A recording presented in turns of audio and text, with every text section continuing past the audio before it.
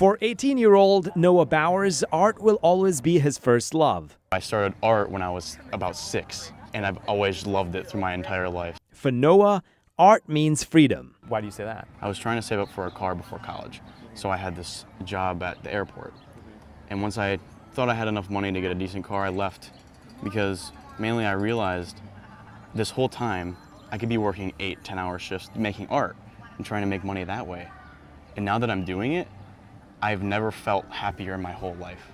Noah sold his first two caricature drawings for 30 bucks each at the Wyandotte Street Art Fair, a moment he will always remember.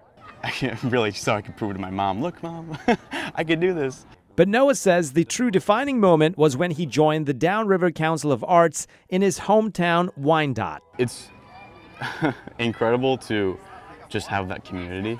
Artist and DCA member Andrew Marcello says the 25 year old organization helps promote a variety of art for all ages, and Noah is one of their success stories. His story is better today because of art and the people that he's met because of it, the support.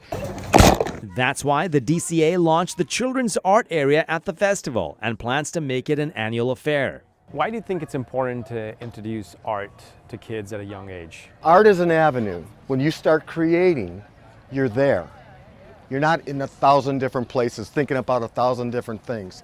So it's very therapeutic. With 100 kids a day attending this art tent at the fair, over 500 kids at the DCA, Wyandotte Mayor Rob DeSana is proud of the initiative. You know, there's sports and other things for kids to do, but I think art, they can express themselves in a different way.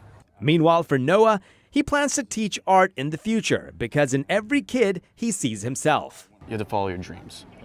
And I think that's the most important thing you could tell, especially a young, impressionable child. Just follow your dreams. Now, the DCA has a year-round program for children to come down here and learn art. All you got to do is head to wxyz.com for all the details. You can also find Noah's Instagram handle information over there as well. Reporting from Wyandotte, I'm Faraz Javed, 7 Action News.